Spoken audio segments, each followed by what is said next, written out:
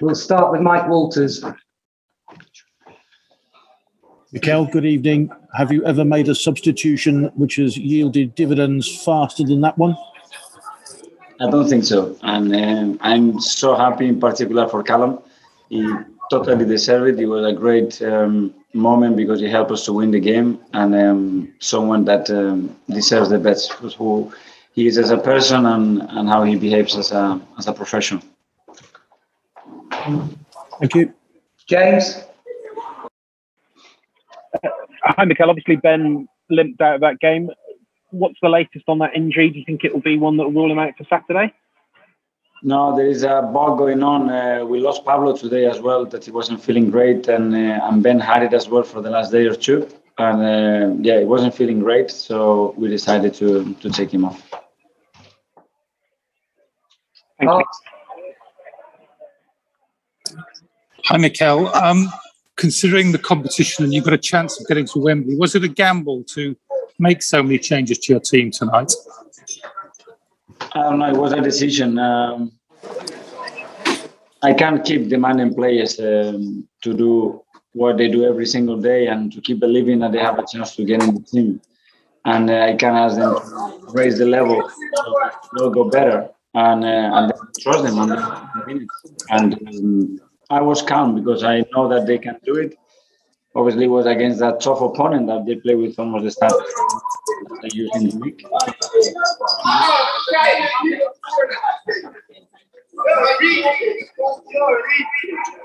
Dan? Uh, hi, Mikel. Just a quick one on Eddie Nketiah. We all know his contract situation is a bit complicated and it's running out. Does tonight show what he can still offer and maybe give you an idea of what he can do with him going forward? I have no doubt what he can offer. Um, whatever you throw at him, um, he wants more. He demands himself more. And another one that I'm delighted um, to see the performance I have to score the goal and help the team because he totally deserves it. But uh, he's got a lot of players as well that they play in that position, and he's got a personal situation. But I try to leave that aside and um, and try to give what he totally deserves. Are there any updates on that contract situation that you're aware of? No. Okay. Thank you. Thank you. Simon? Hi, Mikel. Um, I just wanted to ask you what the situation is with Kieran. Do you think he's going to be all right for Leicester?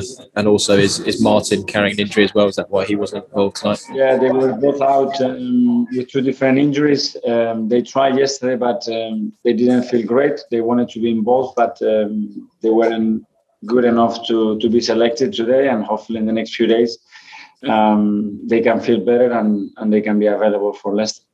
And just one on, on Ainsley, Maitland Niles. Obviously, he's, he's struggled for minutes this season. How impressed were you in, with him in the middle of the park? Well, we have used him a lot uh, in different moments. Uh, he's played minutes and he can cover different positions. That's the the big bonus that Ainsley has. And again, he kept trying and and trying to improve every single day. And today, I think he had a really good performance. Yeah. Thanks, Mikel. Yeah. Mark? Hi, Mikel. I'll just quickly go back to Eddie, if that's okay. Obviously, he had a move breakdown over the summer. He struggled for minutes. Do you envisage that he will move on at the end of the season? Because obviously, he can't be happy only playing twice at this stage of the season. Yes, but uh, we had a situation in the summer um, that we tried to resolve, and, and we couldn't either way. And um, that's the contract situation. is more and more common in football for um, for where we are coming from with COVID and and a lot of the issues that uh, that we have to resolve. Um, I have full belief that he is going to be a top top player and hopefully an awesome. Would he go with your blessing, given that he's, he's not played very much? Would you would you let him go if, if he came to you and asked you to go? So happy to have him in the team, and he's our player, and I consider him and regard him really highly. And um, from my side, I want him to stay. Yeah. Hi, Mikel. Hi. Hi. Um, you made nine changes to the team that played Aston Villa on Friday night, but you retained two star performers, Emile Smith Rowe and Ben White. What was the think- thinking behind that? Well, the thinking was uh, it was more a reacting situation. Uh, Martin was going to start the game and uh, he was injured, so we had to pick somebody to play midfield. And the other one was Pablo. Pablo was going to start the game as well, and he couldn't start because uh, he had a bug this morning and he wasn't feeling good. So we had to play Ben. Thank you. Kaya. Uh, hi, Mikel. I just wanted to ask a question about Flo Balogun. Uh, he wasn't involved again tonight. Um, if he continues to not get too many first team minutes, will you look to send him on loan in January? We will see what happens. Um, again, with Flo, we have a, a really clear project. Um, the steps that he's making, they are the right steps. And don't forget, he's still really, really young. He hasn't played any professional football almost any professional football and you need to go through every phase and, and don't try to bend faces where, when you are not ready to do so. And um, again, I'm really happy with him. He's doing the right progress. And in December, we will see where we are and what's the best uh, for him as well. Nick. Uh, also, you include uh, uh, Salah-Eddine on the bench tonight. I just wanted to get a word on the decision behind that and maybe what he's done to get in that position.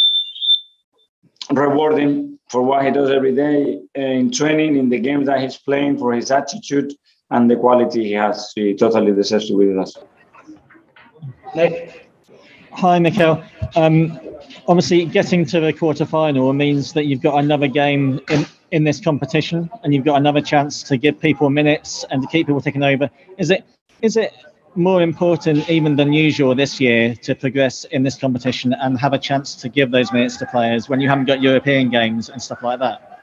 Yeah, well, obviously he opens up more space to give opportunities to people. Um, obviously, we have trophy that we want to conquer, and, and that's the whole point of it. But, um, it's great to see the players that we didn't have a lot of opportunities to, to towards them the way they played today, the way they competed, and, and the way, the way they won the game against a, a really good side.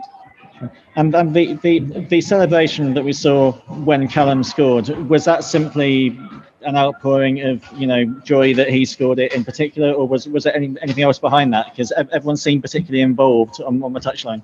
I think there is something else there. Um, you see the reaction of his teammates, which they spend time with him every single day. Um, I think it was genuine emotion for him uh, because it's been tough for him, and um, and they like him as a person, and uh, and they know that it was an important moment for him.